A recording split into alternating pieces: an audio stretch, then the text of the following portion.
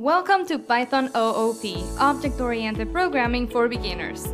Python is one of the most popular and in-demand programming languages, and its popularity continues to rise. Object-oriented programming is your next step into the world of programming and computer science. It is used in diverse areas like web development, game development, artificial intelligence, and machine learning and databases. It's also a very common topic during technical interviews. This course is a practical introduction to this topic that will teach you the key concepts that you need to know. You may ask, what is the course like? Let's see. You will have engaging video lectures that present the topics with graphics and carefully designed diagrams and explanations, providing a step-by-step -step walk throughout the code. You will create a text-based version of the Blackjack game using object-oriented programming principles.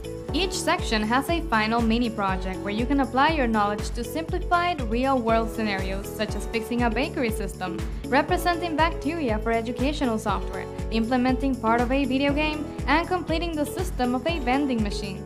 Each mini project comes with its corresponding solution so you can check your work. You will check your knowledge with quizzes that provide instant feedback and unlimited attempts so you can use them as learning tools. You will solve coding exercises directly in the browser thanks to Udemy's built-in power. And you will have access to the course discussion forums where you can ask all your questions.